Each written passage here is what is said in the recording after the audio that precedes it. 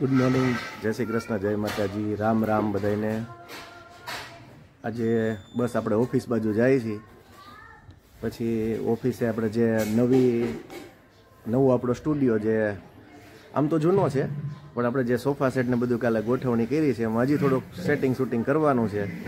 તો આપણી ઓફિસે જાય છે. તો વ્લોગમાં બન્યા રહેજો. આપણે ઓફિસનું બધું ગોઠવાઈ ગયું છે.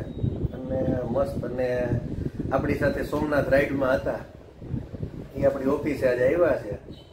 તમે ઓળખતા જશો જો.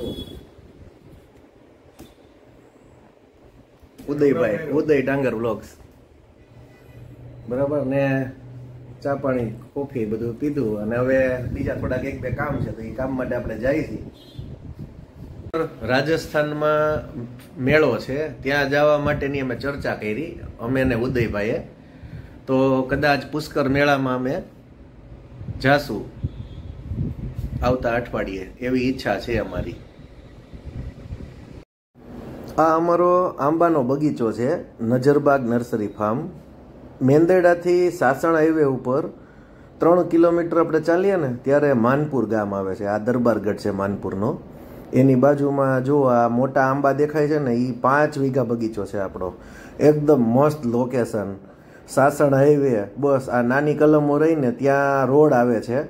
અને ત્યાંથી દરવાજો ખોલો એટલે તરત જ આપણો પાંચ વીઘાનો આંબાનો બગીચો. એક નંબર લોકેશન બાજુમાં કેનાલ છે, મસ્ત. અને એક બાજુ દરબારગઢ છે. અને આગળની સાઈડમાં હાઈવે રોડ છે, સાસણવાળો. અને એકદમ સરસ લોકેશન છે, ફૂલ પાણી છે. અંદાજે એકસો ને વીસ પચીસ આંબા છે. જોવા. અને આ કેસર કેરીની ખાસિયત એ છે કે સમગ્ર ભારતમાં પ્રથમ ઇનામ વિજેતા મદ્રાસની અંદર મેંગો શો હતો, ઓગણીસો એકસઠમાં. એમાં આ કેરીને ઓલ ઇન્ડિયા ફર્સ્ટ પ્રાઇઝ મળેલું. અને આ બગીચો અમારા અમરેલીથી સો કિલોમીટર જેવો થતો હોય. એટલે અમારે આ બગીચો સેલ કરવાનો છે, વેચાણ કરવાનો છે. તો કોઈ રસ ધરાવ, ધરાવનાર પાર્ટી હોય તો અમારો કોન્ટેક કરી શકે છે. એક નંબર લોકેશનવાળો બગીચો છે. કોઈ શોખીન હોય હેરિટેજ ફાર્મ જેવું બનાવવું હોય, જો બાજુમાં દરબારગઢ છે એકદમ મસ્ત અને એકદમ રજવાડીને. આ બગીચાનું ઉદ્ઘાટન ઓગણીસો એકસઠમાં ગુજરાતના પહેલા ગવર્નર મહેંદી નવાજ જંગ સાહેબે કરેલું. તો એકદમ ખૂબસૂરત રમણીય વાતાવરણ અને આવું મસ્ત લોકેશન સાસણથી એકદમ નજીક.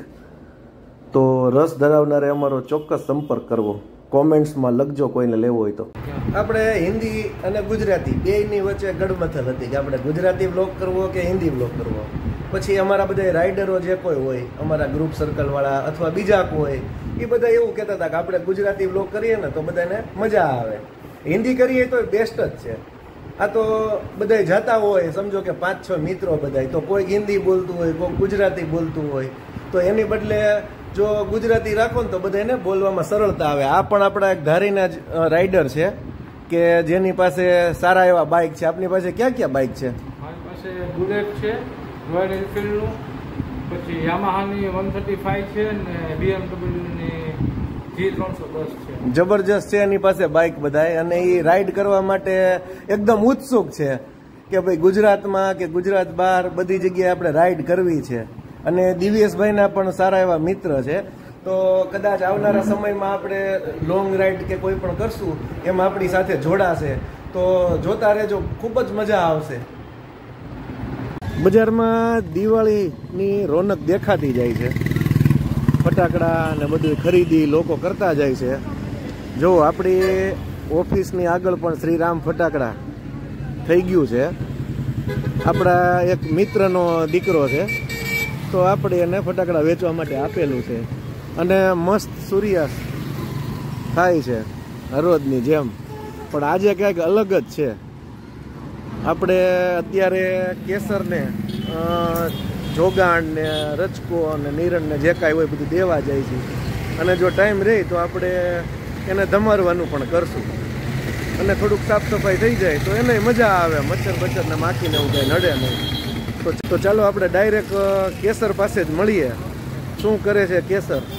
જોઈએ અને રચકો અને જે કાંઈ હોય આપણે બધું એને આપી દઈએ. મદદમાં એક વેદાંત કરીને છે, છોકરો નાનકડો. પંદર વર્ષનો છે, પણ ઘોડાનો એટલો બધો શોખીન છે કે વાત પૂછવામાં. દસમું ભણે છે, પણ છતાંય ઘોડીનો ગાંડો શોખીન છે. તો એ પણ કહે છે કે હું મદદમાં આવું તમારી. તો આપણે એને પણ બોલાવી લઈશું અને એની સાથે આપણે કેસરને સાફ સફાઈ કરશું.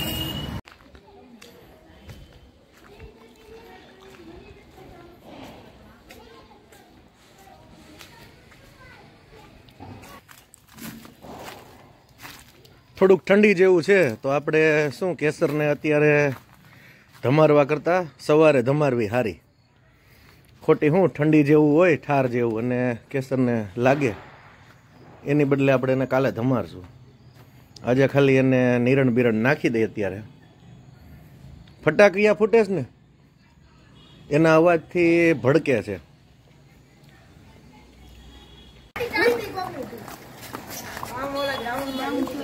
આમ આમ વયો જા આમ વયો જા.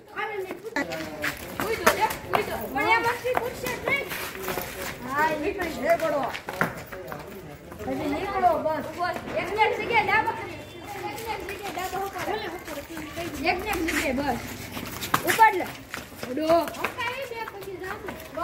બે પગે હાલશે લેતા પાછો હાલો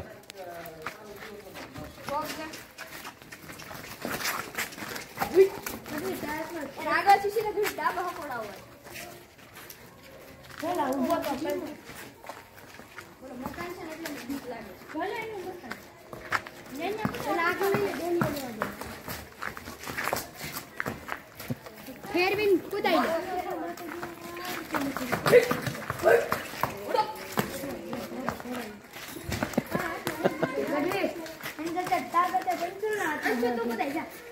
ફટાકડાનું બધું બહારની સાઈડમાં ચાલુ થઈ ગયું છે.